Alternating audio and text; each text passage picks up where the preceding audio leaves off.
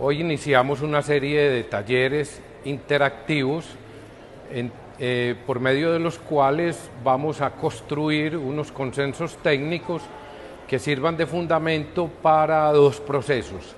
Validar los elementos fundamentales del Plan Estratégico Metropolitano de Ordenamiento Territorial y construir unas bases técnicas que nos sirvan de fundamento para actualizar, modernizar y complementar el Plan Integral de Desarrollo Metropolitano.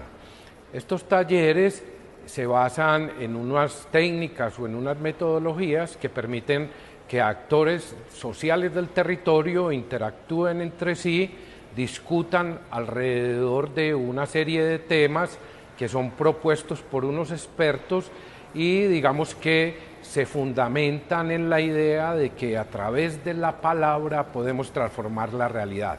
Si nos encontramos, discutimos nuestros problemas, construimos soluciones conjuntas, podemos ir creando las condiciones para que en el territorio metropolitano podamos ir paulatinamente resolviendo los graves y complejos problemas que se generan con la aglomeración.